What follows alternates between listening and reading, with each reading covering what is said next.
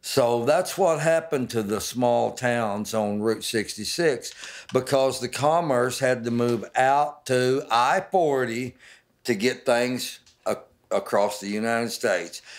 People weren't traveling Route 66 as a vacation idea and experience until God, I don't know, I don't even know when they started that. Probably back around 1980. I don't know. You'd have to ask Michael Wallis or some other historian that. I'm not. I'm not a historian. I'm an experience. It was down in St. James